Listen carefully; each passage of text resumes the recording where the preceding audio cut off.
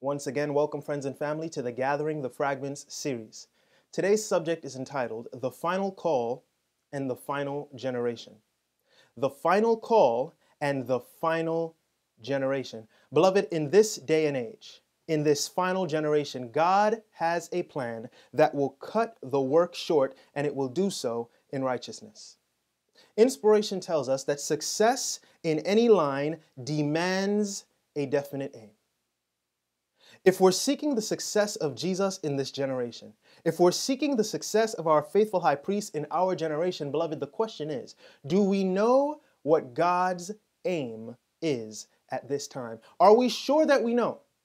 Because unless we know the aim of our faithful high priest from the beginning of this great controversy to the very end in our generation, we will never see success in this time. We need to understand the aim of God. And so, with that in mind, beloved, let us open our Bibles to the book of Psalms, chapter 23.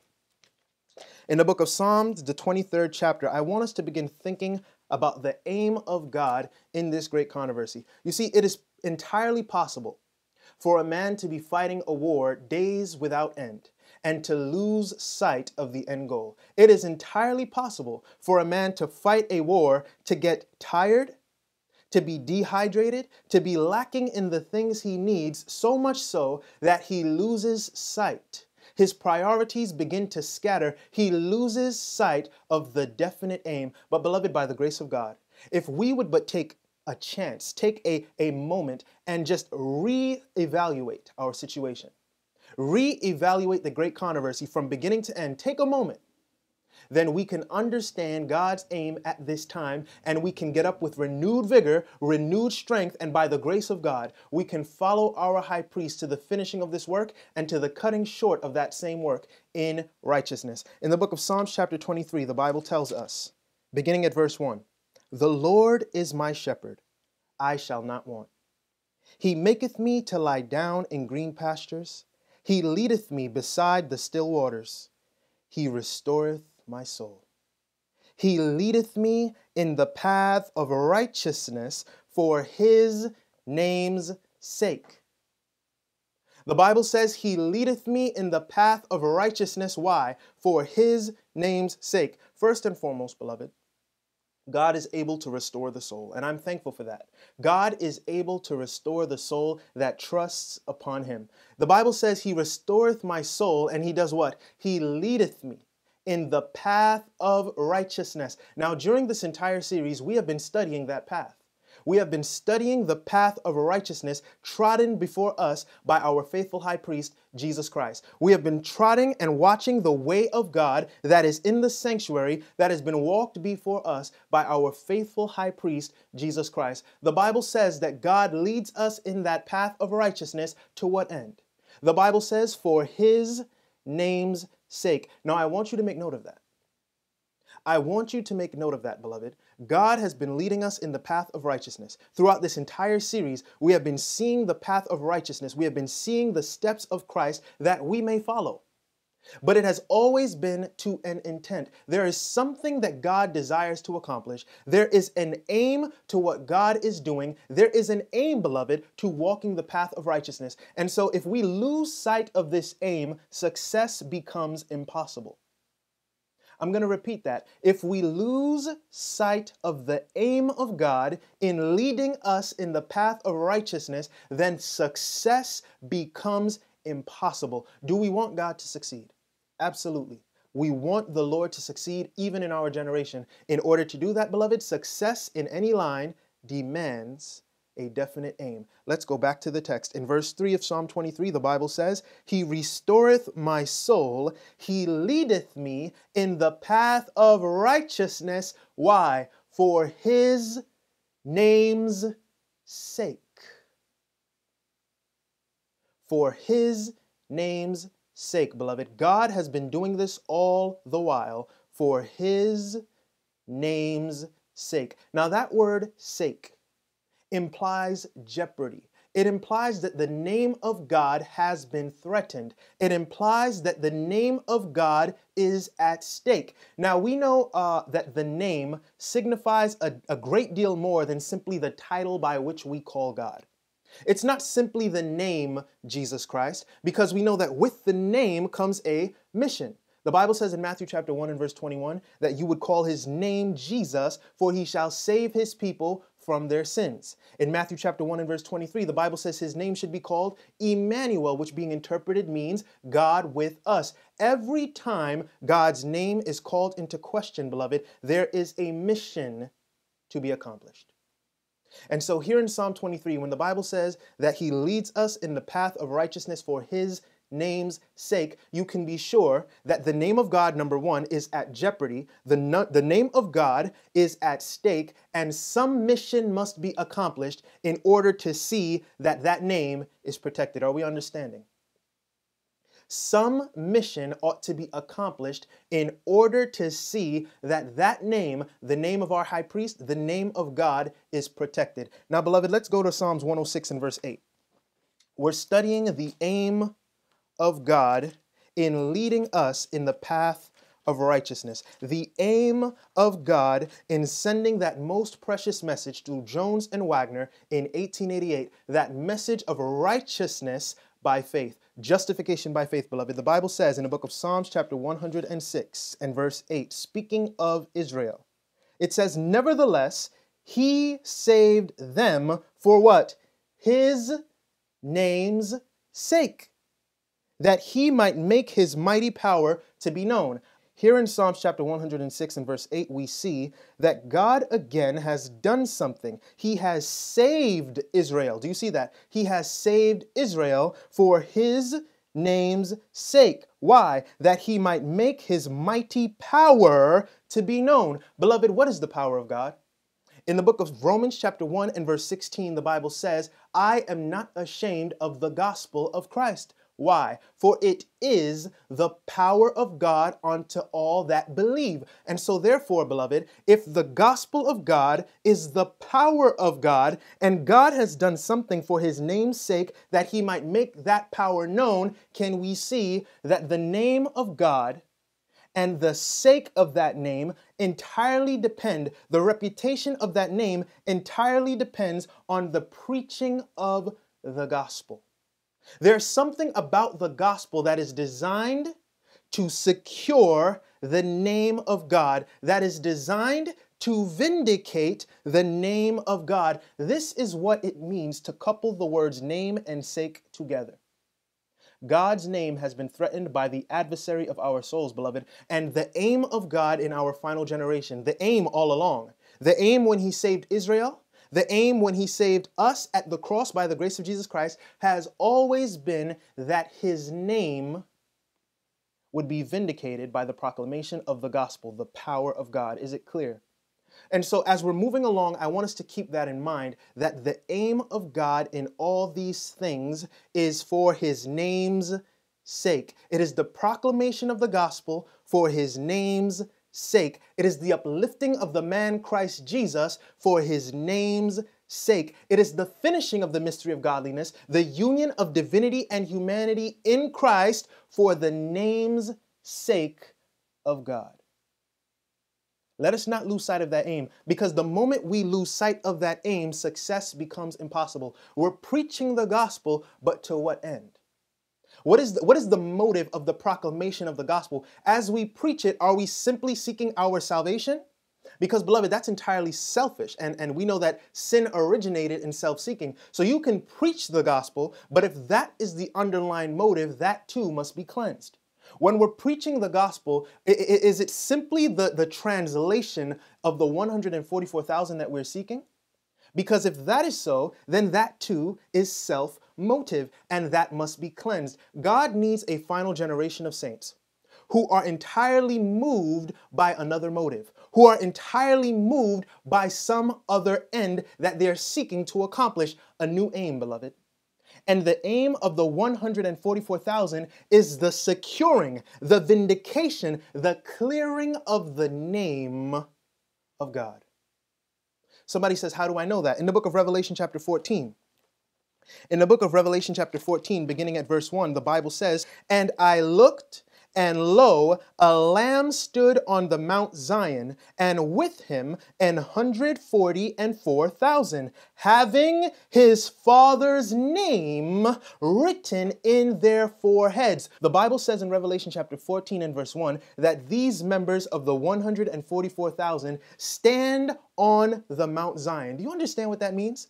It means that after all of this great controversy, the 144,000 finally find themselves on higher ground. Beloved, you're not catching this.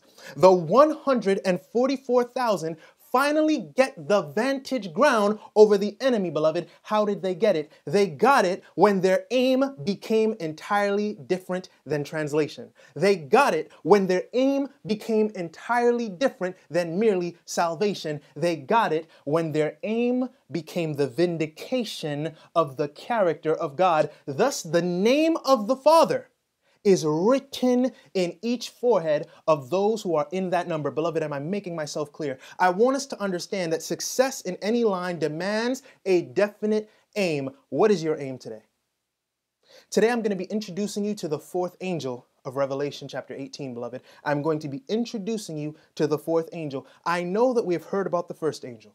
We have heard about the second, we have heard about the third, and some of us have made mention of the fourth. But, beloved, when we look at the fourth angel, there is an aim to be accomplished, an aim that if we lack, we can never successfully be a part of that movement. Beloved, we want to be sure that we are on the side of Christ in this day of atonement. We want to be sure that his aim and our aim, that his motive and our motive is synonymous. Beloved, we don't need another aim.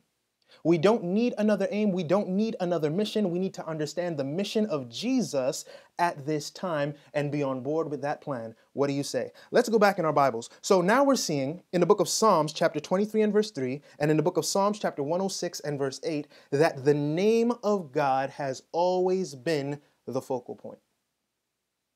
He leads us in the path of righteousness for what? His name's sake. He saved Israel for what? His name's sake, and that his power might be made known. So the gospel, which is the power of God, is to be proclaimed in all this world as a witness for his name's sake.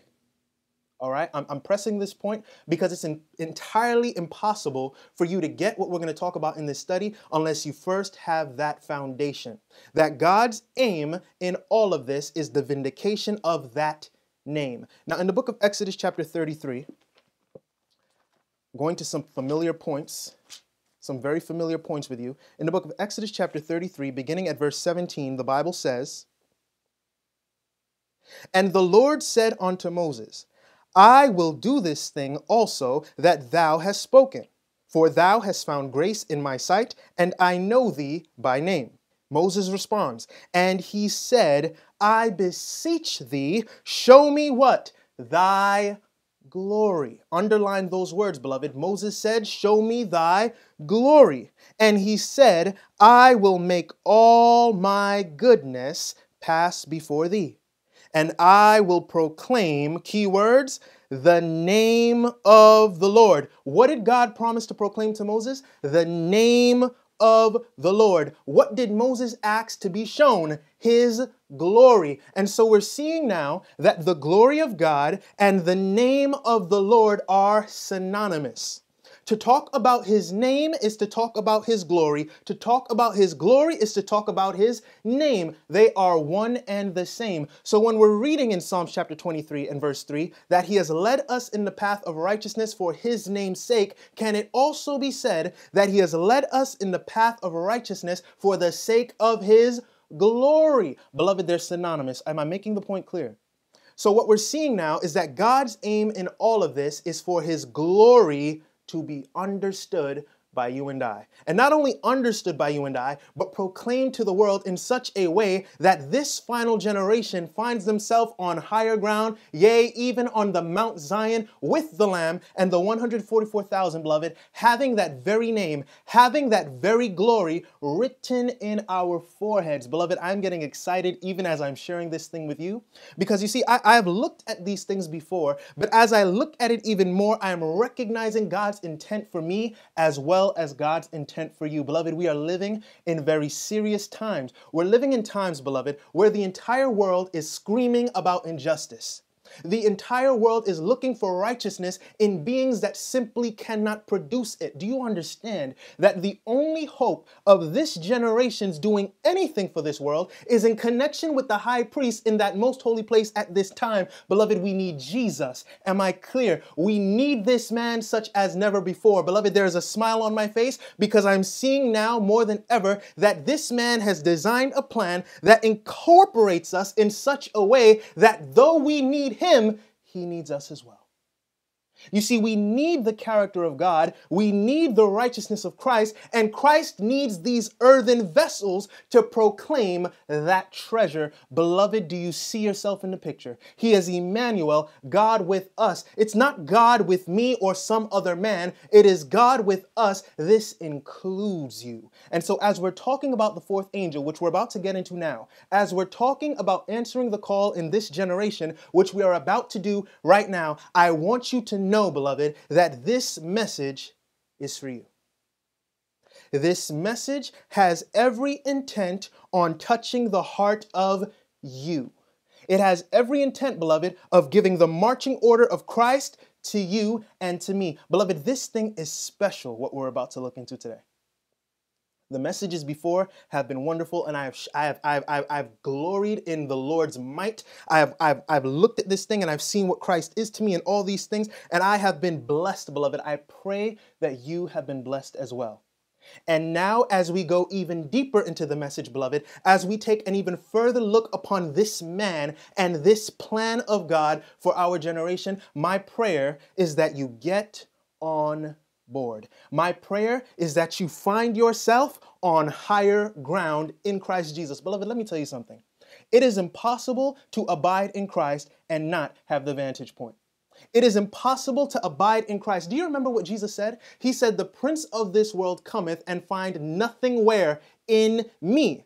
And if the Bible says in 1 Corinthians chapter 30, verses uh, 31, uh, 1 Corinthians rather chapter 1 and verses 30 and 31, if the Bible says that God has placed you and I there in Christ, then we are not the property of Satan. Beloved, we are simply out of reach. His arm does not reach that high. Beloved, Jesus mm, mm, mm, mm, Jesus has secured us. Do you understand what I'm saying here?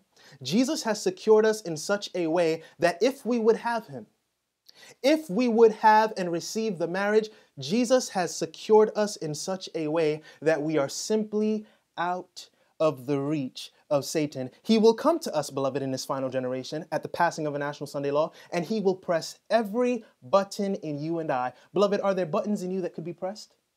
When you're cut off on the road, uh, is there a button there that can be pressed? How do you respond? Is racism a button in you that Satan can press? When he presses that, how do you respond? Beloved, if it is not the response of our faithful high priest, if it is not the response of Jesus, then we have yet to learn to abide in him. Because abiding in him means that Satan comes and finds nothing in you and I with which he can trigger a response. Beloved, the response that he will get from you and I will be that of our faithful high priest. It will be that of Christ. It will be that of Christ in you the hope of glory.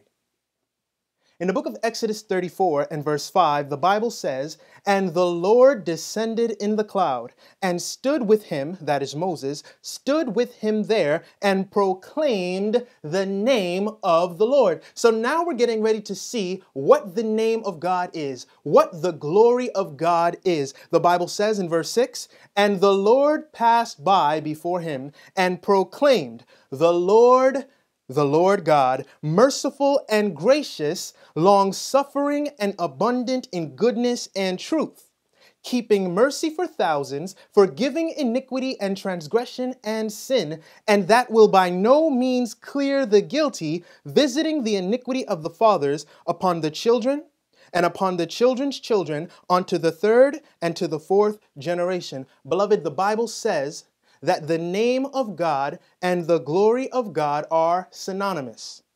When God proclaimed to Moses the name of the Lord, in verse 7, he said, The Lord, the Lord God, merciful and gracious. Now, beloved, can we see that the glory of God, the name of God, is simply the character of God. When God proclaimed that name, when he proclaimed that glory to Moses, it was the various characteristics, the features of that character that he presented. And so when we're talking about the aim of Christ in this generation, it concerns the vindication of the character of God. Is the point clear? The Bible says he leads us in the path of righteousness. Why? For his name's sake, for his glory's sake, or for the sake of his character. I want to give you some evidence from the spirit of prophecy regarding that. In the book Patriarchs and Prophets, page 68, paragraph 2, we are told, But the plan of redemption had yet a broader and a deeper purpose than the salvation of man. It was not for this alone that Christ came to the earth.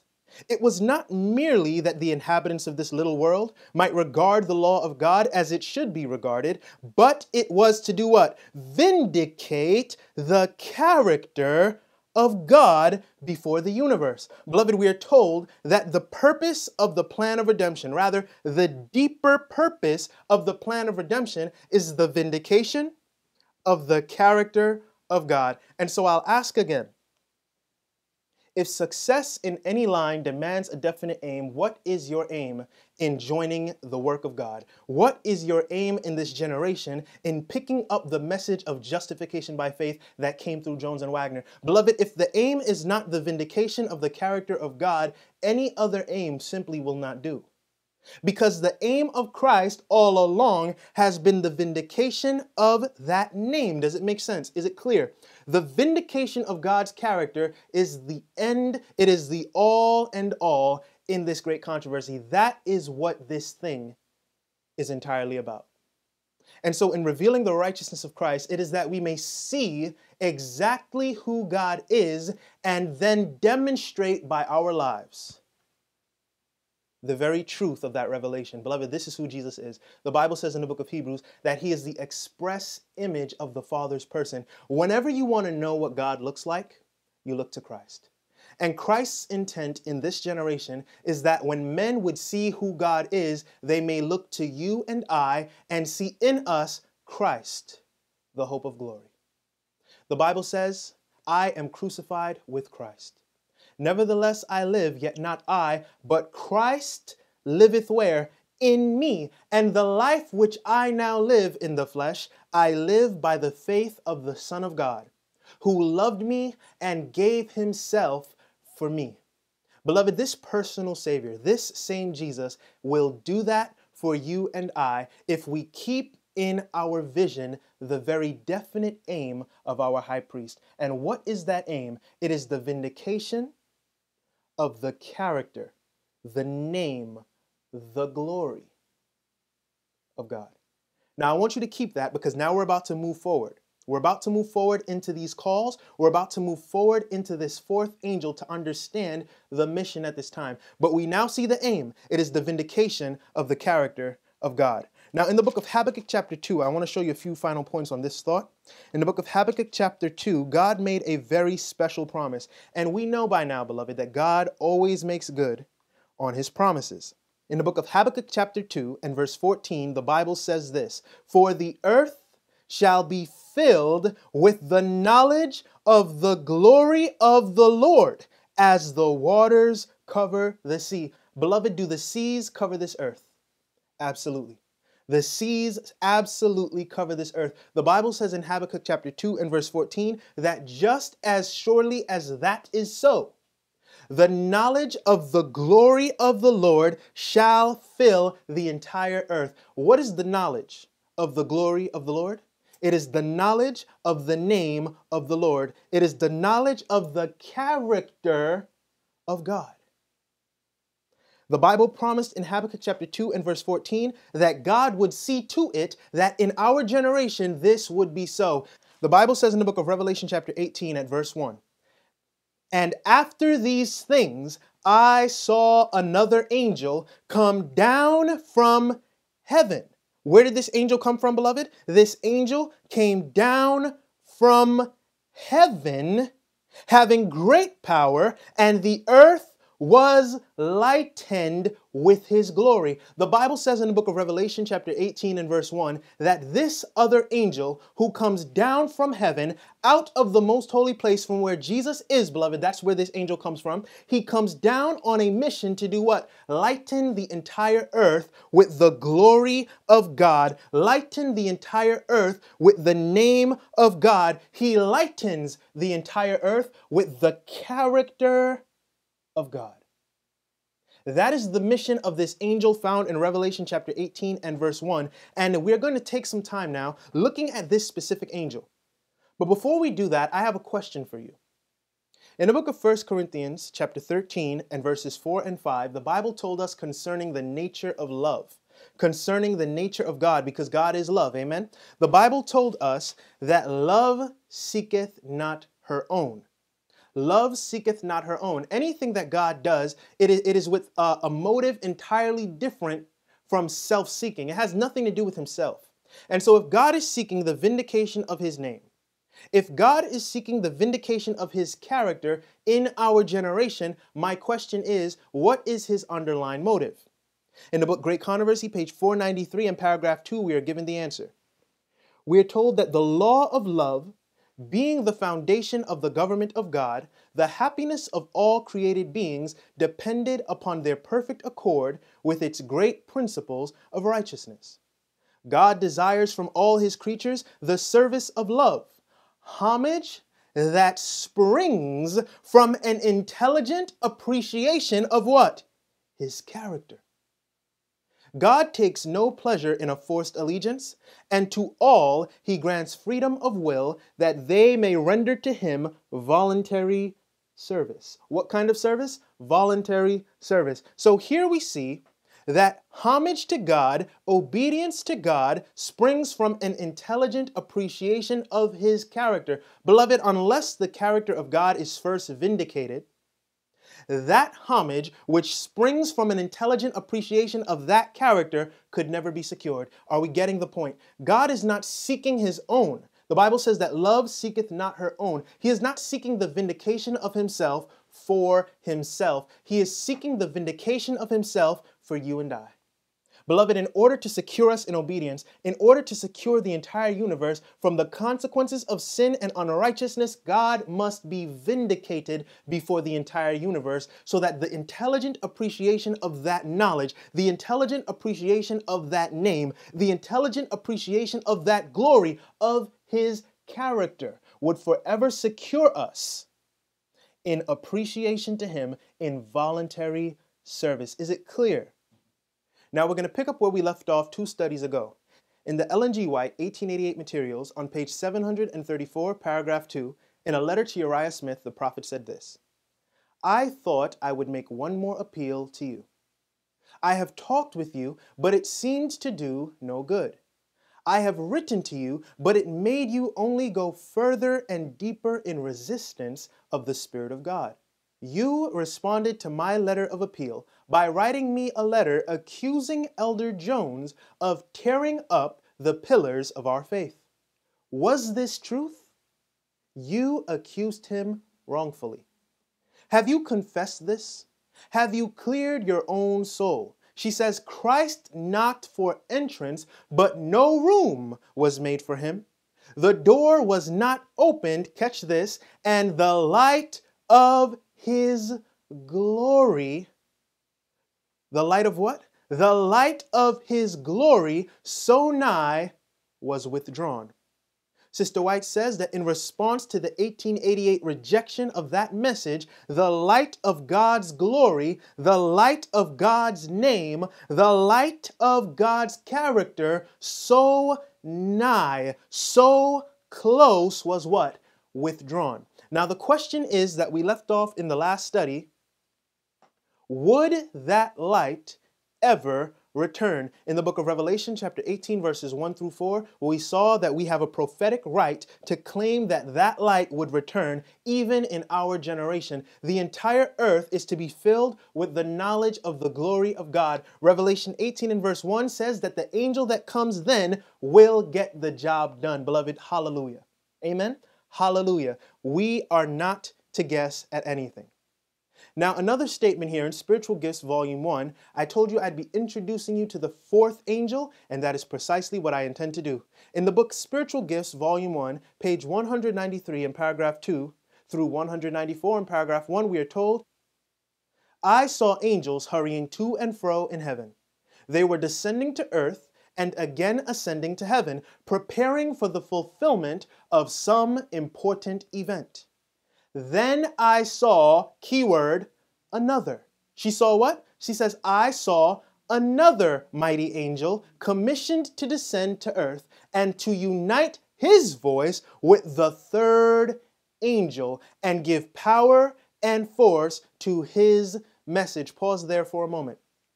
Sister White says that she saw another angel commissioned to unite his voice with that of the third angel. Now, question if it is another angel which unites his voice with that of the third angel, is this angel the third angel? No, beloved, it's another angel. Amen? It must be another angel. Now, I'm going to let you know this right now. Nowhere in the Bible and nowhere in the spirit of prophecy will you find this other angel identified as the fourth angel. But we conclude that he's the fourth angel by numerical sequence. It only makes sense, beloved, that if the first angel was followed by the other angel, it would be the second angel. And if the second angel was followed by the third, then the angel that follows and unites his voice with that of the third angel must be the fourth angel in this numerical sequence. Does it make sense? But she says, Then I saw another mighty angel commissioned to descend to earth and to unite his voice with the third angel and give power and force to his message. So this fourth angel unites with the third. Did you see that? The fourth angel does not do some work that is separate from the third. That is not what's going on. The fourth angel unites with the third. Those who are doing the work of the third angel are to be joined by those who are doing the work of the fourth angel, and the fourth angel will give power and force to the message of the third. Is it clear? That is why the fourth angel's message is known as the loud cry of Revelation chapter 18 and verses 1 through 4. Beloved, it simply takes what the third has, it polishes it, it, it amplifies it, and it gives it to the entire world in newness of power. The Bible said that this angel came down having what? Great power, beloved, and the earth was lightened with his glory. She says, Great power and glory were imparted to the angel. And as he descended, the earth was lightened with his glory. The light which went before and followed after this angel penetrated everywhere as he cried mightily with a strong voice. The work of this angel, which angel? The fourth angel. The work of this angel comes in when?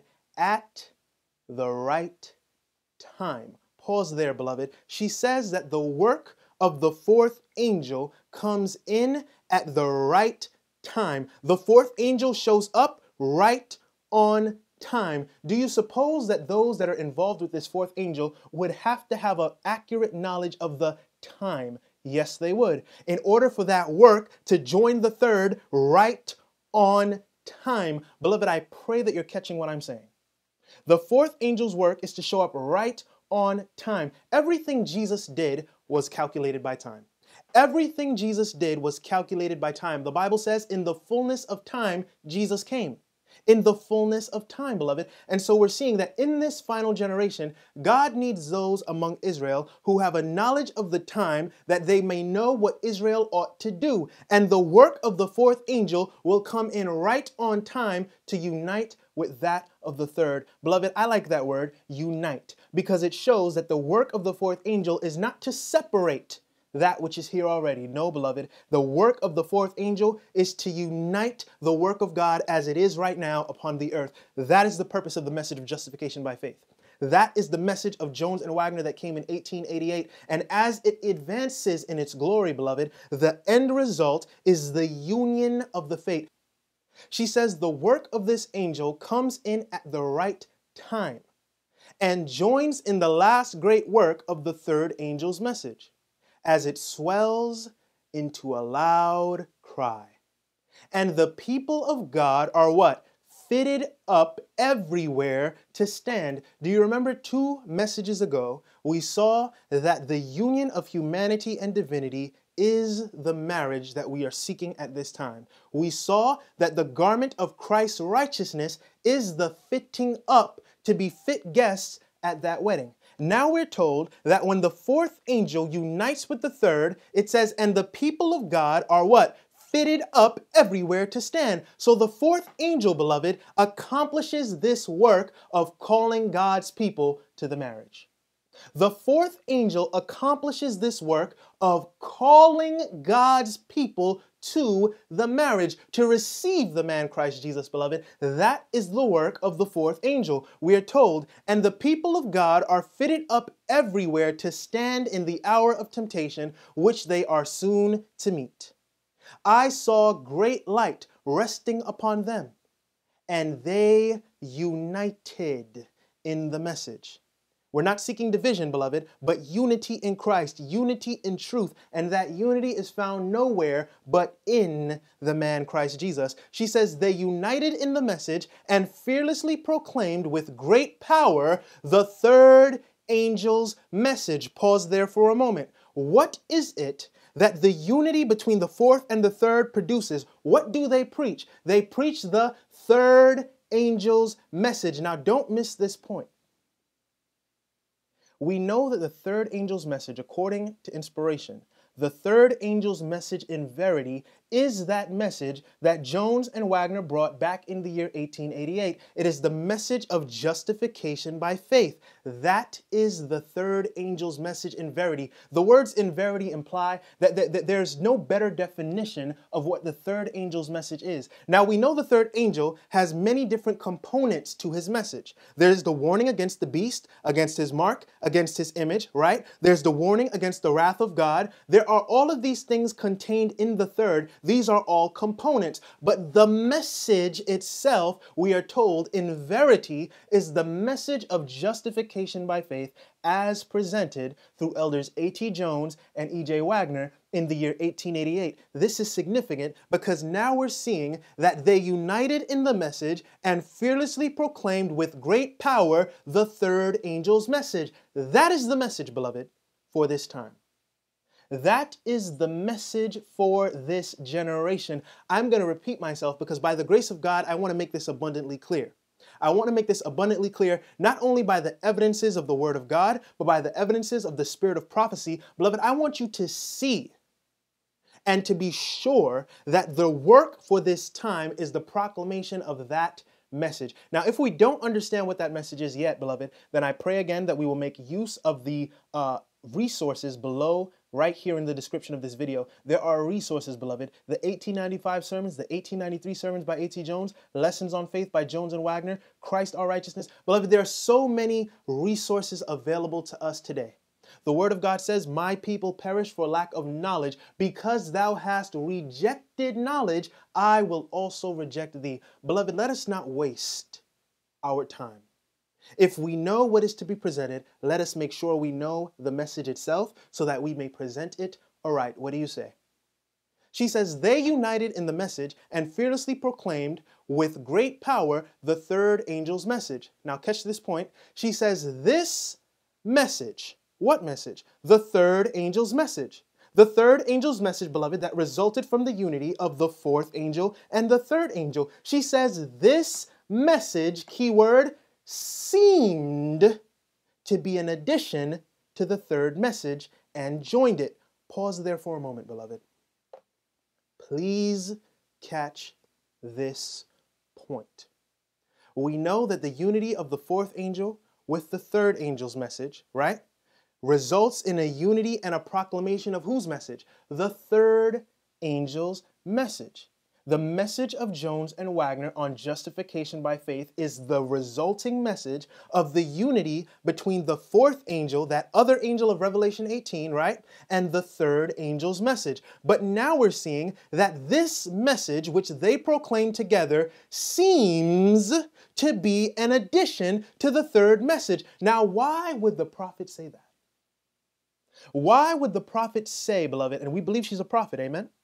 We believe that she had the inspired gift from God when she said that this message seemed to be an addition to the third. What was she saying? Do you remember that quotation I shared with you a few studies back, where inspiration told us that there would be those who call the third angel's message a, a, a false light and refuse to move on with its advancing glory? The Bible says that these things are to go from one level to the next, from glory to glory, beloved. We are to advance with the procession. We are to advance in our understanding of the righteousness of Christ. Do you suppose that in looking at the righteousness of Christ, better views of who God actually is as seen in Christ would become known? Absolutely, beloved. If the entire great controversy centers around the vindication of God's character, when God finally has a generation that begin to look upon the righteousness of Christ, that begin to look upon Christ himself and study who he is in every feature of that character, beloved, new and improved views would come forth about the character of God. You see, there are things that we didn't see before when we looked to Calvary. Inspiration says, but when we look to Calvary now, in every ray that streams from Calvary's cross, as we look there, the very attributes of God that once filled us with fear become lovely, beloved. Let me tell you something Jesus is attractive. And we need to understand that as we study the message of Jones and Waggoner, as we begin to look at that message of righteousness, in fact, Jones called it a message of righteousness according to righteousness. What that means is that we would begin to study Christ not as we want him to be, all right, but as he is. And the picture of God that we have as a result would begin to improve until we had the perfect picture of the Father, the Father that the Son himself presented. And beloved, when that picture becomes the picture that you and I have accurately, that name is written in our foreheads. And let me tell you, once it is written there, no man can take it away. This is why inspiration says this message seemed to be an addition to the third message. I want to park there again. The fact that she said this message, the message of the fourth angel joining with the third in the proclamation of the third angel's message, she says this message seemed to be an apparent addition. The fact that she said seemed implies that it is not. What the fourth angel brings to the third, beloved, seems to be an addition to the third, but it is not. It is not, it's not something in addition to, it's an improving upon. It is a building upon. It is an advancing upon the third angel's message. The fourth angel doesn't bring some other message. The fourth angel does not bring some other Jesus. It is this same Jesus, but the longer you look upon this man, Beloved, I'm telling you, the longer that you look upon this man, the greater, the deeper, the higher your understanding of the depth and the breadth of the loving character of God. Beloved, is it plain?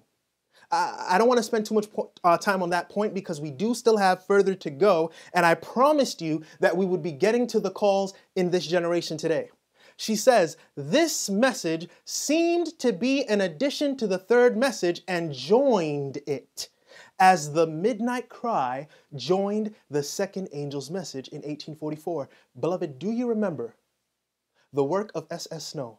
In 1844. Do you remember the work of the Midnight Cry in 1844? She, she, she responds in letting us know that the work of the fourth in relation to the third is similar to the work of the Midnight Cry when it joined that of the second angel in 1844. In 1844, beloved, the cry went forth, Behold, the bridegroom cometh, go ye out to do what? Meet him. That was the work of the midnight cry that joined the second angel. That was the work of the midnight cry that joined the second angel, she says right here. So the work of the fourth angel that joins the third angel in finishing the work, she says, is similar as the midnight cry joined the second angel's message in 1844. Now I want to share with you this quotation here. This quotation here takes what she said there and puts it into perspective. Whereas the midnight cry, that message, was Behold, the bridegroom cometh, go ye forth to meet him. The message of the fourth angel is similar. She says in Christ Object Lessons, page 415 in paragraph 5, those who wait for who? The bridegroom's coming. She said, Those who wait for the bridegroom's coming are to say to the people, Behold your God. The last rays of merciful light, the last message of mercy to be given to the world is a revelation of his character of love. Now, some of you may be asking yourselves, Brother Paul, I thought the purpose of this series was to show that the message of justification by faith is the last message. I thought the last message was the message of Christ, our righteousness. Beloved, she's saying nothing different here. By saying that the last rays of merciful light the last message is a revelation of God's character of love. She is simply pointing you to that which you would find in the righteousness of Christ. Beloved, do you suppose that if we're looking at the righteousness of Christ, we would receive better and improved views on the righteousness, the character, the glory, the name of God?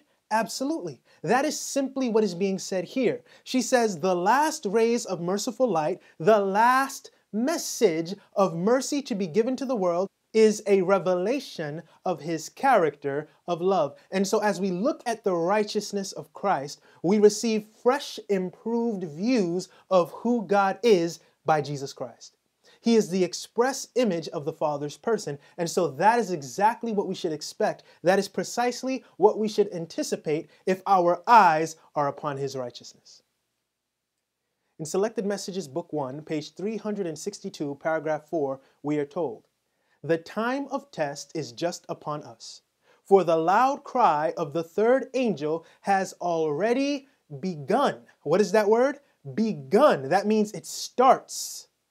It begun in the revelation of the righteousness of Christ, the sin pardoning Redeemer. This is the beginning of the light of the angel whose glory shall fill the whole earth. For it is the work of everyone to whom the message of warning has come to lift up Jesus, to present him to the world as revealed in the types, as shadowed in symbols, as manifested in the revelations of the prophets, as unveiled in the lessons given to his disciples, and in the wonderful miracles wrought for the sons of men. Search the scriptures for they are they which testify of him. Beloved, inspiration says that the work of Jones and Waggoner in uplifting Christ, in presenting Christ our righteousness, was the beginning, it was the start of the work of that fourth angel.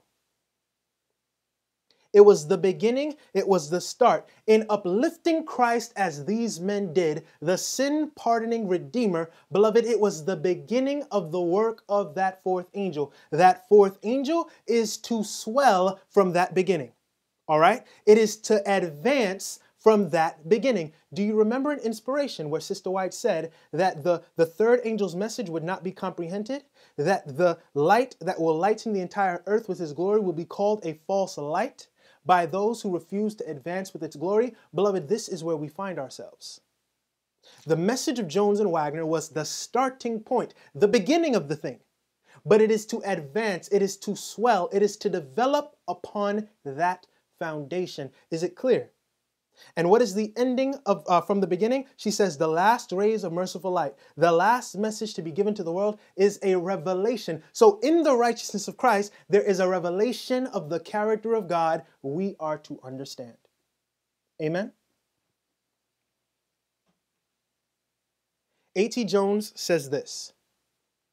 In the Third Angel's Message, 1893 Sermons, he says on page 185, paragraph 5, there will be things to come that will be more surprising than that was to those at Minneapolis. What do you mean, Brother Jones? Brother Jones is saying that there would be things to come after him and Waggoner, right? That would be more surprising to us than what Jones and Waggoner brought to us. Now, why is that? Because we were to advance from what they brought, we were to uh, develop upon the foundation that they laid, the Holy Spirit would lead us deeper and higher and wider in our influence by that very foundation He laid through Jones and Waggoner. There will be things to come that will be more surprising than that was to those at Minneapolis, more surprising than anything we have yet seen. And brethren, we will be required to receive and to preach that truth. What truth, Brother Jones? The truth that is more surprising than that which was brought to Minneapolis. The truth that results from the development of that foundation that was laid at Minneapolis. Beloved, that truth is to be received, he says. He says, We will be required to receive and preach that truth, but unless you and I have every fiber of that spirit, that is the, the, the, the, root of the opposition of that message. Unless you and I have every fiber of that spirit rooted out of our hearts, we will treat that message and the messenger by whom it is sent as God has declared, we have treated this other message. Jones says that after the work of he and Waggoner, there would come things that were more surprising. All right? But we know in principle that the Holy Spirit does not contradict himself. Whenever he brings truth further along down the line, it is a development of the truth he brought before. All right? When Moses brought his truth, it wasn't to negate whatever truth Joseph had preached in Egypt or whatever truth Jacob had preached Joseph. These things are developments upon one another. What Abraham had, all right, was developed and improved by Isaac, all right, which was developed and improved by Jacob, and so forth and so forth until the final generation. God gives light to one man, beloved, and he develops the understanding of that man's posterity further on down the line. Truth is progressive. Are we understanding the point? And so the foundation that was laid concerning Christ our righteousness in 1888 was to develop and to advance into a more thorough understanding of who God is as presented in Christ our righteousness. By beholding him, we behold the Father. Beloved, these are the things we are to expect. Jesus said, Have I been with you so long? And you have not yet seen the Father? Have I been with you so long in the, in the writings of Jones and Waggoner, and you have not yet seen the Father? Beloved, how long must we study the writings of Jones and Waggoner and still not see clearly who God is? Anyone who studies the, the, writings of Jones and Waggoner, anyone who studies the writings of 1888, beloved, will let you know that their vision of who God is has improved. It has been developed.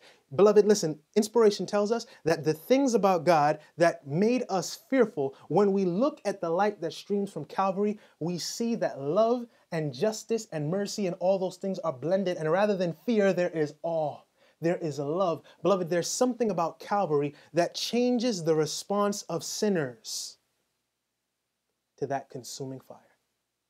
Now, I told you in a, in, a, in a message before, I think it was the message before last, I told you that in Christ we may meet that consuming fire and we may do so safely. God is a consuming fire. He will consume sin to wherever it is. But when we meet that consuming fire in Christ Jesus, that consuming fire is a threat to the sin alone that binds you and I. And as we remain in Christ, He makes us free right there. Beloved, these views of God only come from a thorough understanding, a thorough investigation into the righteousness of Christ. As we look at Christ, beloved, who we think the Father is is entirely changed into the correct image. For Jesus is the express image of the Father. All right? In the Manuscript Releases, Volume 11, page 283, paragraph 3 through 4, we are told The Lord has shown me that we are in just as much danger of rejecting the truth in our day as were the people in the days of Christ. The Lord is speaking through his delegated messengers, Jones and Waggoner. But the same unbelief is exhibited. Men close their hearts against Jesus and hold themselves in the veriest bondage to Satan. Beloved, inspiration told us that the message that Jones and Waggoner presented is the third angel's message in verity. And so the rejection of that message leaves us in the veriest bondage to Satan. She says, Men close their hearts against Jesus and hold themselves in the veriest bondage to Satan, supposing that they are preserving their dignity as free men. Those who on special occasions of controversy have taken a course similar to that of the men of Nazareth should take heed lest they follow their example. Keyword, when.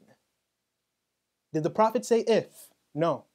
You see, to say if is to suggest that it is a possibility. But when you say the word when, it means that we are to expect what she says next to actually take place. She says, those who on special occasions of controversy have taken a course similar to those of the men of Nazareth should take heed lest they follow their example when a second opportunity. A what? A second opportunity is given to accept the glorious light of truth. Sister White tells us that there would be a second opportunity to receive the glorious light of truth. Beloved, the first opportunity was through Jones and Waggoner in what year? 1888. Now we're being told that there would be a second opportunity to receive the light of truth. She says, after the first rejection, when excitement and confusion are over, you may again be what? Called. Beloved, we're talking about the final call and the final generation. She says, You may again be called upon by the divine messenger, and you should beware lest you harden your hearts in prejudice and pride, and in what?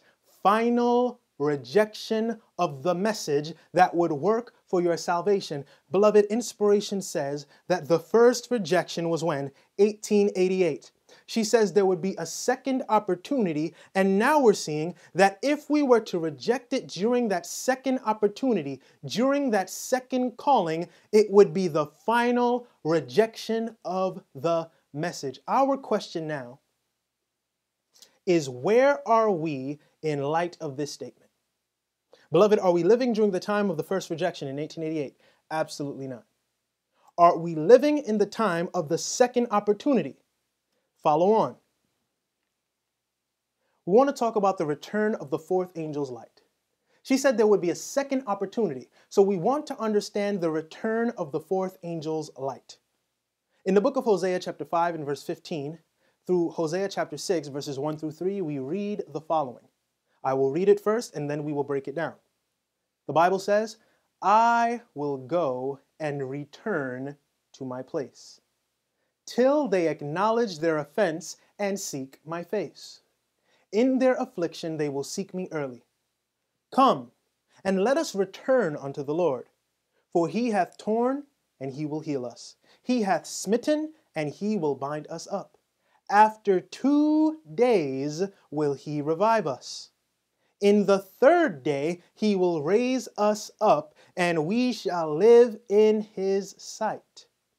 Then shall we know, if we follow on to know the Lord, his going forth is prepared as the morning, and he shall come unto us as the rain, as the latter and the former rain unto the earth. Beloved, here in Hosea chapter 5, verse 15, through Hosea chapter 6, verses 1 through 3, we are dealing with the message of the latter rain we are dealing with the message of the latter rain. The message of the latter rain, we've already covered in studies past, was the message of Jones and Waggoner. The message of Christ our righteousness is the beginning of the loud cry. It was the beginning of the latter rain. That is what we're talking about here.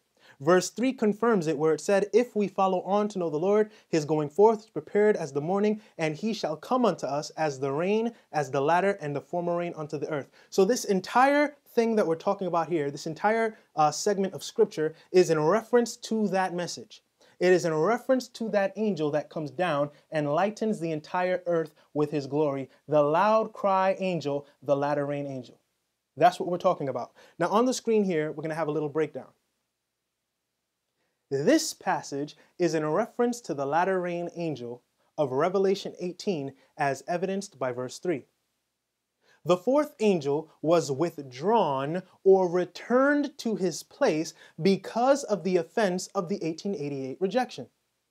This withdrawal wasn't to last forever, but only till, the Bible said, we repented and received the message that we had rejected.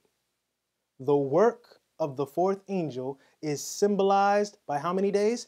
Three days. Go back down to the text right here. It says, after two days will God do what? Revive us. And in the third day he will raise us up and we shall live in his sight. So the Bible says that there are three days in total concerning the opportunity to receive that latter rain message. Concerning the opportunity to receive that righteousness of Christ, there would be three opportunities. Three days, three callings, all right? In the first two days, the Bible said in Hosea chapter 6, the Bible said after two days he would revive us. So the first two days are for the purpose of reviving God's church. But the third day, the Bible said, he would raise us up and we would be doing what? Living in his sight. So the work of the fourth angel is symbolized by three days two of which are specifically to revive us, and a third in which he will raise us up to proclaim the message, and we will live in his sight. In that third and final day, following the advancing light of the third angel's message of Christ's righteousness, produces a people who know the Lord. They actually know his character, who know the Lord, which will surely result in his going forth as seen in Joel chapter 2 and verse 16. And in that third day, both the power of the early and the latter rain are to be expected. Now, that's quite a mouthful. I know that there's a lot that I just said there. There's a lot to unpack there. We're going to spend some time here now. That's, that's where we're going to spend the rest of our time, actually. We're going to spend our time here in Hosea chapter 6, verses 1 through 3, and Hosea chapter 5 and verse 15. The Bible said that there would be three days, three opportunities three callings, two in which God's intention was to revive his people. The third in which God's intention was to raise up his people, right? To prepare them to stand. If he's raised you up, can you be falling? No, beloved. In the third day, we are expected to be standing because he's raised us up, right? And we are to live in his sight. Inspiration says that we're to live in the sight of God without a mediator. We're going to get there in a moment. That is the purpose of the third day. Now, on the screen here, we see that these three days, day one, day two, and day three, represent these opportunities. We're going to focus on day one and day two, which is for the revival of God's church. On day one, the fourth angel comes to revive us from our lukewarm condition. That is precisely what took place in 1888.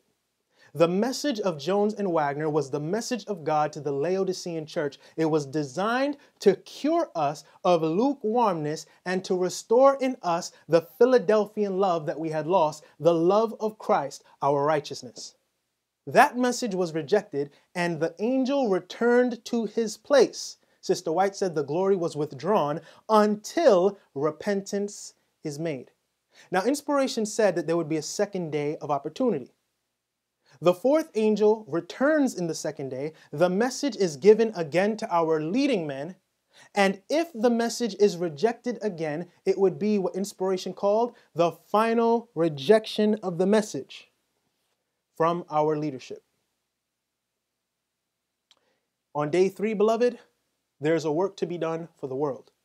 On day three, there is a work to be done for the world. The Bible said the Lord would raise up his church and that we would be living in his sight. The Bible said that following on to know the Lord would result in the outpouring of the early and the latter rain in its power. That is precisely what we read here in Hosea chapter 6, verses 1 through 3.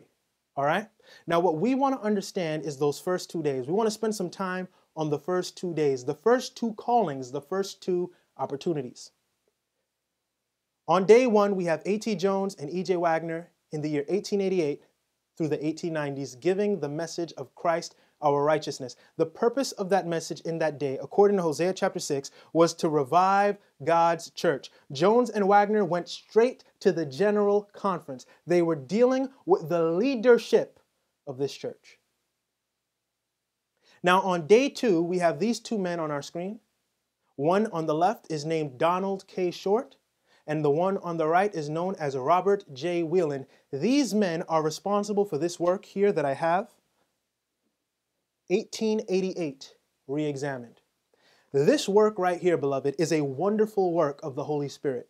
Robert J. Wieland and Donald K. Short are responsible for this. They were responsible for shifting the focus of our leading men in the 1950s back to that most important message, that most precious message of justification by faith as presented through Jones and Waggoner. In this book, beloved, I pray that you get it. I'm going to leave a link down below in the description of this video. In this book, as well as other books, I also have 1888 An Introduction. In these books, Robert Wieland and Donald K. Short directed the attention of our leading men to the message of justification by faith, back to the message that that fourth angel was seeking to bring in the 1800s. Unfortunately, the message was not received by the leading men. Repentance was not made by the leading men, beloved. And so the message was again rejected. That was day two. That was the second opportunity. These men are represented by the second day of opportunity. But we're not living in the 1800s, are we? No. And we're not living in the 1900s either. We're not living in day one and we're not living in day two. We find ourselves in the year 2020, and we're going to get into what that means in just a moment. But I want to bring to your memory Matthew chapter 22, where there were three distinct set of servants that the king sent to, to, to, to, to, to bid the people to come to the marriage, to come to the wedding. There were three sets of servants. The first two sets of servants, beloved, when you study Matthew 22, had the exact same audience. But the third set of servants in Matthew chapter 22 had a different audience altogether. The king told them personally, your audience is not the same as the servants that came before you. The first, second, the first and the second set of servants had to address a specific audience. And after those days were passed, after those callings were passed, after those opportunities had passed, beloved, the third set of servants had a different audience altogether. I am reminded of the days of John the Baptist. When John the Baptist was pointing the people to who? Christ our righteousness, he was beheaded. I'm reminded of the days of Jesus Christ when he was showing them that he is the Lamb of God. He showed them all the things in the scriptures concerning himself. He was crucified. And after those two opportunities right there, beloved, we know that the disciples on the day of Pentecost again gave the message of Christ and his righteousness. But you will notice that the disciples on the day of Pentecost had no specific burden to go to Caiaphas no specific burden to address the leadership. They were dealing with the individuals. Jesus told them to abide in Jerusalem. Because while Caiaphas and them had rejected Christ, there were individuals in the church of God at that time who still had opportunity to make a decision for themselves. Now, am I saying that we're living in a time where God is not seeking to reach leadership at the General Conference? Absolutely not. Absolutely not, beloved. I would not close probation against any man. As long as time continues, as long as we are on this side of the Sunday law, there is hope for the Seventh day Adventists. Any individual who will receive the message of Christ and his righteousness. Praise the Lord. There is time even now. What I am saying, beloved, is that the third set of servants in Matthew chapter 22 were dealing with the individuals now. Their burden of their message wasn't necessarily to the leadership. They, they, they were dealing with the individuals. The Bible says to every one grass in the field. Every individual, that is the burden of the third set of servants. Beloved, we are living in the day of the third set of servants here in 2020. I'm going to show you that. We are living in the third day. We're living in the third opportunity. And beloved, we, we need to understand that in the first two days, what was God trying to accomplish? In Hosea chapter 6, verses 1 through 3, what was God trying to accomplish? The revival of the church. Who did he send his messengers to? Jones and Waggoner went to the General Conference. Wieland and Short went to the General Conference. In this third day, God is knocking at every individual heart. If you hear his voice today, beloved, harden not your heart as we did in the days of provocation. Beloved, the time is now. Back to the screen. The word revive, we want to spend some time on that. The word revive means to restore to life. To do what? To restore to life. Now, if God was seeking to restore us to life through the message he sent through these men, it implies that we were dead in sin and trespasses. The purpose of the message of justification by faith, beloved, was to invite us to receive the righteousness of Christ, which is made manifest in obedience to all the commandments of God, to restore us to life. The word also means to resuscitate or to give new strength. That angel in Revelation 18 and verse 1, who comes down from heaven having great power, gives new strength to the church. Great power, beloved. The purpose of reviving God's people is accomplished by the mission of that other angel who comes down in Revelation chapter 18 and verse 1 with great power, illuminating the earth with his glory. Can you see it? Now, that word resuscitate is very dear to me uh, because in my line of work, we have something called CPR, in which you need at least two people to revive someone who has reached cardiac arrest. The heart has stopped beating, the blood is no longer flowing, the individual is dying, and you are seeking to revive them or to resuscitate them. So one person gives 30 compressions, pumping the heart, all right? And the other person is to give breath. And the moment that the person is revived, life is restored. Praise the Lord. Now, what's interesting enough is just an interesting point. In 1888, God sent how many people? Jones and Waggoner. That is two. Two first responders. Praise the Lord. In the 1950s, how many first responders did God send? He sent DK Short, he sent RJ Wieland, he sent two first responders so that CPR could be done appropriately. Praise the Lord. Beloved, we're living in a generation where God is seeking to revive us so that we may live in His sight, so that He may raise us up, so that He can finish the work. That's where we're living. And in order to do that, God needs the common people. That third set of servants are not focused merely upon the leadership of this church. No, no, no, beloved. They're focused on every one blade of grass in the field, every individual that will receive. The Bible says, I knock at the door. If any man, if any individual, if any one person will open the door, God will come in and will sup with him and will have fellowship with him. Beloved, the third set of servants are not concerned merely with the leadership of our church. They're dealing with the individual hearts that receive the message. And the reason why is for the same reason in Christ's day, God sought to use the fishermen, the common folk, the common people. Inspiration tells us that in the last great work, few great men will be used. It doesn't say none will be used. It says few of them will be used. And the reason why, beloved, is because as a result of the rejection of this message in 1888, as a result of the rejection of this message in the 1950s, we have found ourselves in a position where God's people are very independent of Him. This is why inspiration says that God is going to have to do something that is going to make it evidently clear that He has taken the reins into His own hands his own hands, beloved. He's going to have to work in a way that is very out of the common order of things. Beloved, we are dealing with the individual fishermen of today. Beloved, I am a fisherman by the grace of God. I've already told you this before, and I will continue to fish until my nets are full for the kingdom of the Lord so that Jesus can come back in this final generation. Let us break this thing down even further. The Bible says that we were dead in our sins and our trespasses, but restoration in life only comes in Christ our righteousness. In the book of Acts, chapter 17 and verse 28, the Bible says, In him, where? In him we live and we move and we have our being. So, in order to bring revival to us in the first two days, God would need a message that placed us in Christ. Do you see that? The message of Jones and Waggoner, the message of Wieland and Short in the 1950s, the message of the righteousness of Christ is exactly where we find ourselves in Jesus. It is in Christ where we find Him. And because we find ourselves there, we may live. We live in Him, we move in Him, we have our being in Him. Beloved, is the point clear? I pray that the point is very, very clear. So we see that the first two days, the first two callings, the first two opportunities through A.T. Jones and E.J. Waggoner, through Robert Wieland and D.K. Short, were designed to give victory over sin through Christ, our righteousness. Now, again, I say, we're not living in the 1800s, are we?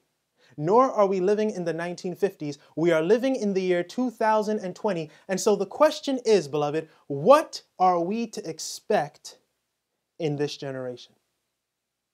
What are we to expect of God in this day, in this opportunity that we find ourselves now? The Bible said that God would raise us up and we would live in his sight. That's what Hosea chapter 6, verses 1 through 3 said. It said that we would be raised up and we would live in his sight. Question What happens when God raises us up? What happens when God actually prepares a people to stand? When He raises us up and we are no longer falling, what is the result of His raising us up? In the book of Isaiah, chapter 60, verses 1 through 4, we are told, Arise, shine, for thy light is come, and the glory of the Lord is risen upon thee. For behold, the darkness shall cover the earth and gross darkness the people, but the Lord shall arise upon thee, and his glory. What is his glory, beloved? That is his name. That is his character. It says, His glory shall be seen upon thee, and the Gentiles shall come to thy light, and kings to the brightness of thy rising. Beloved, what happens? when God raises us up in the third day, it says the Gentiles will come and kings to the brightness of thy rising. Do you see that? So, in the third day, God is expecting the loud cry to transition from the education of his people to the power and demonstration to the world, to the Gentiles, to the kings, to every man, nation, kindred, tribe, and people. Do you see that? In the third day, we are to expect the finishing of God's work. In the third calling, we are to expect the finishing of God's work. Beloved, we are living in that day. We are living in the day of the third servants. We are living in the day of the third opportunity, of the third calling. And while we tabernacle, while we abide right now at Jerusalem, because the Lord does not work now to bring many into the church. We know that. But while we tabernacle in Jerusalem right now, dealing with individuals, not merely the leadership, but with the individuals who will receive the righteousness of Christ, while we tarry, we are to expect that God will raise us up to live in His sight, and the result of that raising us up will be the coming of the Gentiles and the kings to the brightness of our rising. Beloved, what a wonderful hope we have in this generation. What a wonderful expectancy. Beloved, God always makes good on his promises. Always. The Bible says, The Gentiles shall come to thy light, and kings to the brightness of thy rising. Lift up thine eyes round about, and see.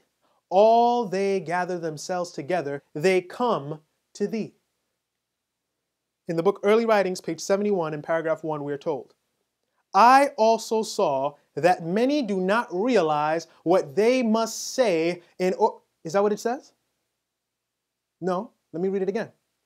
I also saw that many do not realize what they must preach. Is that what it says? No. She says many do not realize what they must be in order to live in the sight of the Lord without a high priest in the sanctuary through the time of trouble. Beloved, the third day in Hosea chapter 6, where the Bible says that God would raise us up and we would live in his sight, is saying that in the third day, in this calling, in this opportunity, God is raising up individuals to be, not simply to preach, but to be what they have preached, beloved to actually live what they believe. The Bible says, and this gospel of the kingdom shall be preached in all the world for a witness. It'll actually be the reality of their lives. And when that happens, the Bible says, we will live in his sight. Inspiration says that means we will live in the sight of the Lord without a high priest in the sanctuary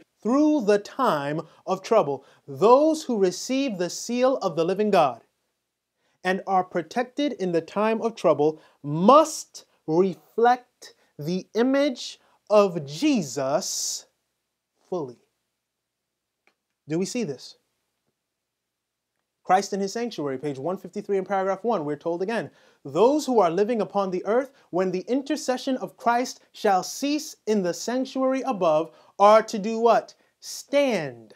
They're to do what? Stand. Beloved, if you are standing, are you falling? No. So then, if God has raised you up, you will stand. We are talking about the third day. She says, when the intercession of Christ shall cease in the sanctuary above, we are to stand in the sight of a holy God without a mediator. She says, their robes must be what? Spotless.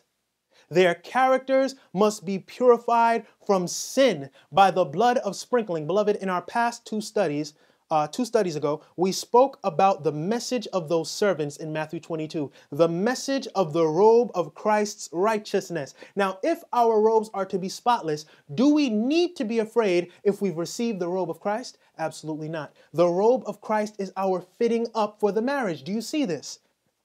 She says, through the grace of God and their own diligent effort, they must be conquerors in the battle with evil. They must what?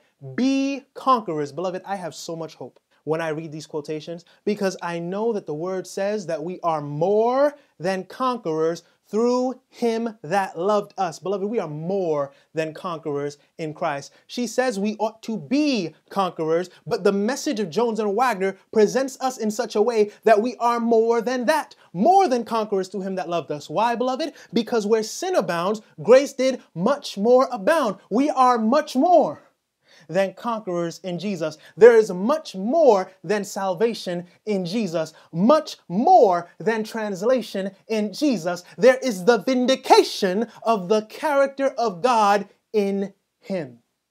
Beloved, and we are invited to partake. This is the purpose of the procession, the purpose of the three calls, the purpose of these three days, these three opportunities. It is the reception of Christ our righteousness. And in receiving that righteousness, okay, by studying that character, you and I, by beholding, are changed into the image of Jesus fully, so much so in this third day that we are raised up, no longer falling, and we can live in the sight of a holy God without an, a mediator. Beloved, if there is no mediator in the sanctuary above for you and I, then the work of the mediator for you and I must be completed. If there is no high priest working for you and I in the third day, then you and I have to have the work of the high priest completed. Do we understand? When Jesus steps out of that most holy place, you and I must be in a condition that entirely reflects his character. As a matter of fact, if you're students of prophecy, students of the spirit of prophecy, then you know that Seventh day Adventists specifically must be in that condition by the passing of a national Sunday law. Beloved, there is no time to waste. But we may redeem the time even today. We may receive the man even today because the plan has always been receive Christ Jesus. What do you say? So we find ourselves right here on this third day where we are to be conquerors by the grace of God. I believe that God is still preparing a people right now. He's still preparing us. He's still we are we are in no means what we ought to be just yet but he is getting that work done. And like I said, beloved, he always makes good on his promises. Always. God is not going to fail us. All right. The Bible says, faithful is he who begun a work and he was, he's going to finish that work, beloved. He's going to do so perfectly. I promise you. Never mind my promise. The word of God promises you. We saw in Revelation chapter 18 and verse 1 that the world will be lightened with his glory. The question is, are you on board? Are you on board? Beloved, are these just, just, just other Bible studies to you? Or are we really recognizing that God is preparing us for something specific, for the vindication of his character, that you and I are actually called at this time to be a part of that number, a part of the 144,000, those who have his name, his character, his glory written in their foreheads and proclaimed by the very lives that they now live. Beloved, we need this man.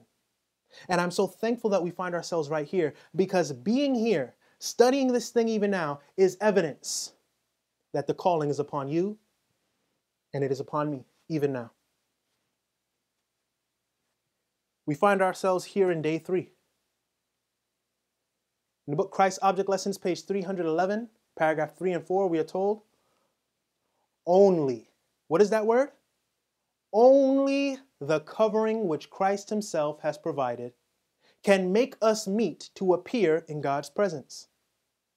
This covering, the robe of his own righteousness, Christ will put upon every repenting, believing soul. Beloved, therefore, our job at this time is to make sure that we are among that company who are repenting and believing this message of Christ our righteousness. Why? Because God will put that robe on every repenting, believing soul.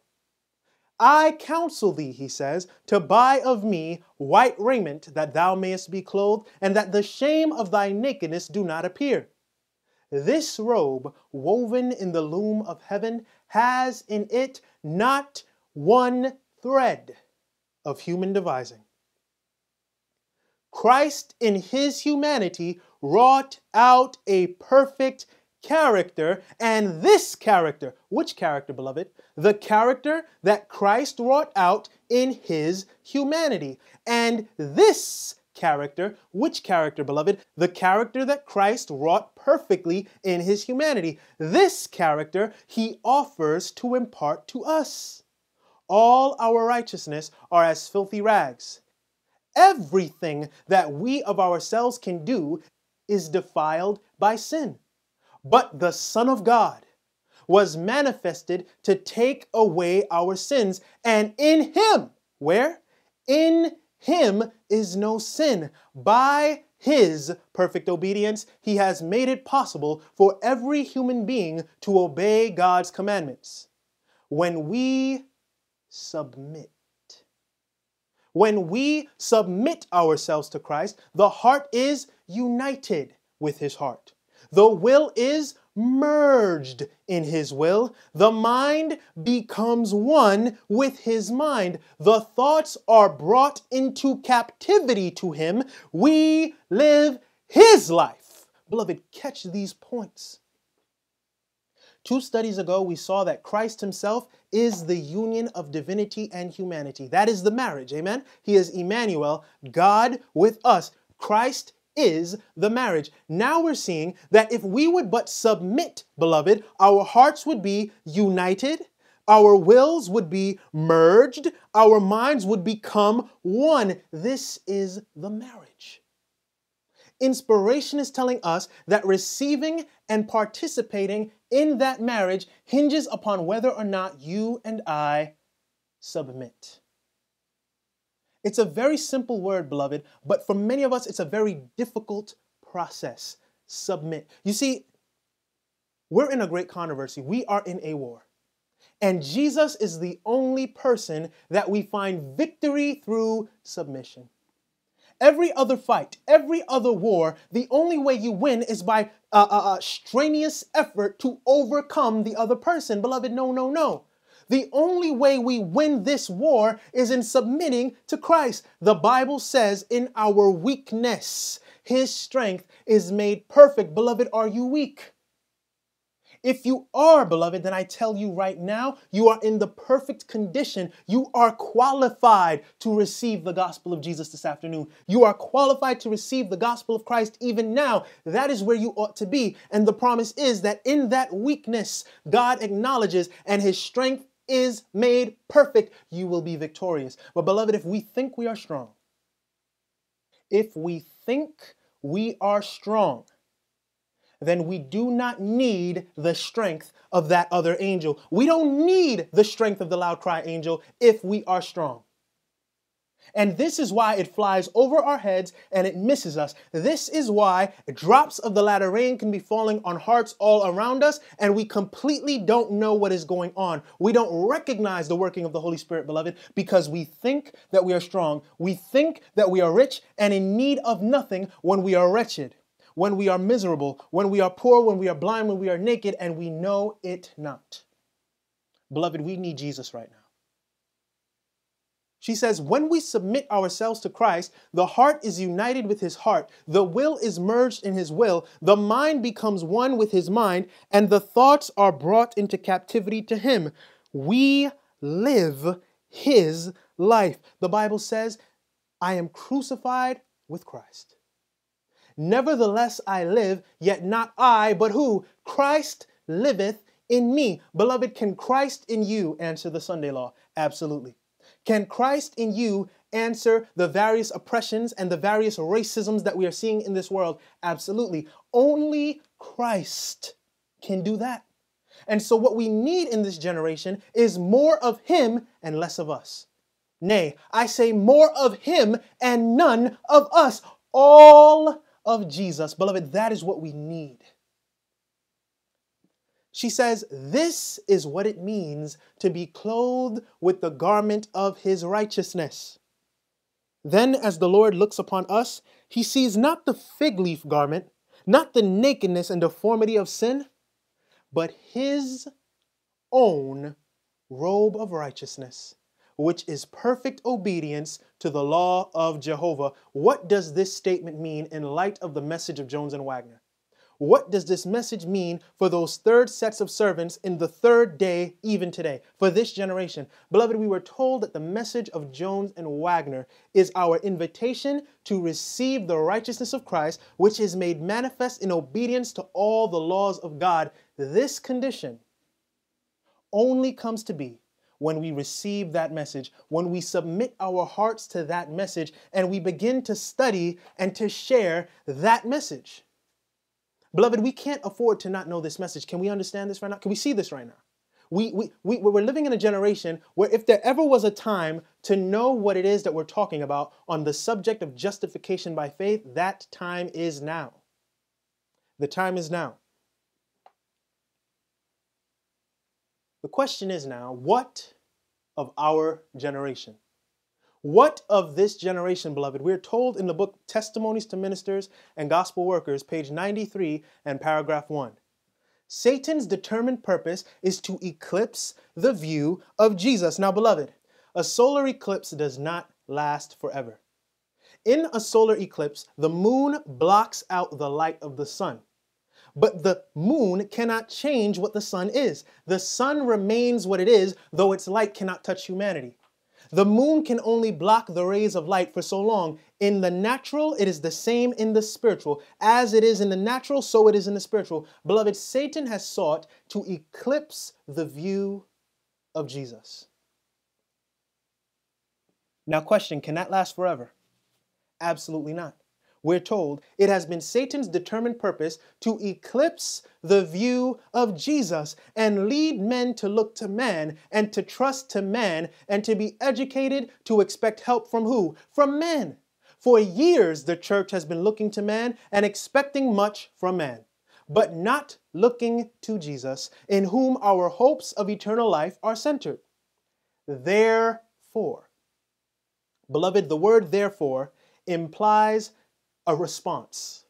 Because Satan's determined plan is to eclipse the view of Jesus, therefore, we're about to see God's response. Therefore, God gave to his servants a testimony that presented the truth as it is in Jesus, which is the third angel's message in clear, distinct lines. Beloved, God will answer in this generation and is answering in this generation Satan's plan to eclipse the view of Jesus with the third angel's message in clear, distinct lines, yea, even the fourth angel's message. Beloved, if Satan's plan is to eclipse the view of Jesus, then God's plan is to increase the views of Jesus. Can you see that? If Satan is seeking to block out the view of Christ, then God's true messengers in this final generation are seeking to remove everything that obscures the view of our great high priest. Everything that, that, that works as a smokescreen to block out the view of Jesus. Beloved, we have no time to be working in the, in the midst of smoke screens. Turn your eyes upon Jesus. Look full in his wonderful face, beloved. Satan is afraid of a generation who are looking unto Jesus because he knows that by beholding him, we will become changed. The fact that we're living in the third day, the fact that we're living in the third calling, beloved, means that we need to have our eyes fixed upon our high priest. Because if we do that, then he will raise us up to live even as he lives in his sight. Beloved, this is a wonderful opportunity in which we find ourselves. But Jesus cannot answer the call for you. No other man can answer the call for you. No one can receive the righteousness of Christ for you. You have to make your calling and your election sure today. Today, if you hear his voice, beloved, harden not your heart as they did in the days of provocation. In the book of Isaiah, chapter 60, verses 1 through 4, we are told, Arise, shine, for thy light is come. Does the Bible say thy light is coming? No, beloved. It says, For thy light is come. When William Miller in the 1800s gave the message of the first angel preaching the hour of his judgment is come, that was present truth. Today, beloved, God's servants are preaching, Arise, shine, for thy light is come. This is a present reality for those who receive the word by faith. I am telling you, beloved, the light that Satan sought to keep away by eclipsing the view of Jesus is come to you today. The opportunity to understand the message is a click away in the links below. Beloved, we may have this light even now. The question is, will you have it to be so? Will you receive the call? What is the call? Very, very simple. Submit to the man, Christ Jesus. Receive the man, Christ Jesus. Beloved, meet the man, Christ Jesus.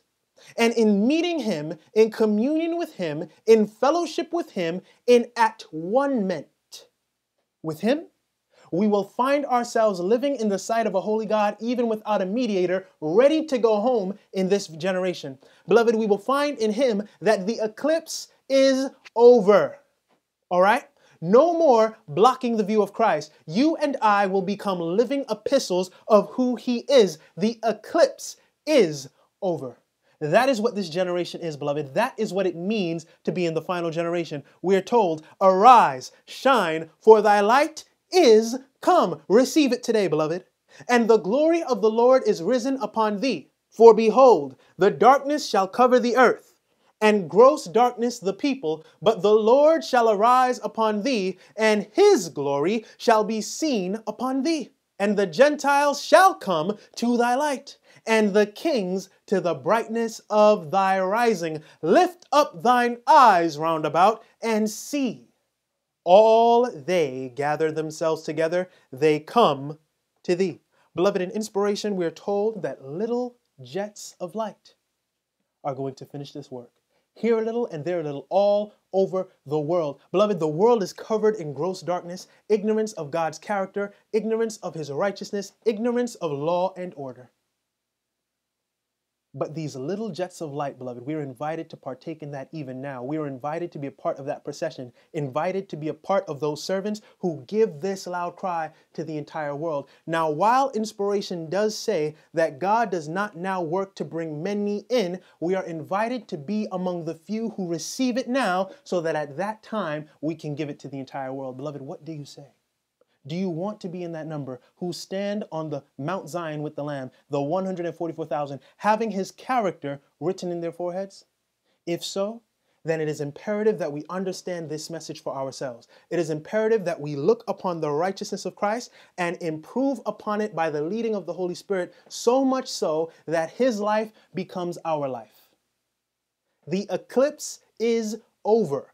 In the Ellen G. White 1888 materials, page 765 in paragraph 6, we read our closing statement. It says, The end is near. We have not a moment to lose.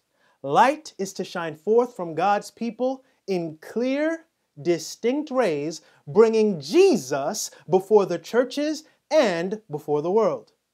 As Christ's ambassadors, they are to search the scriptures to seek for the truths that have been hidden beneath the rubbish of error.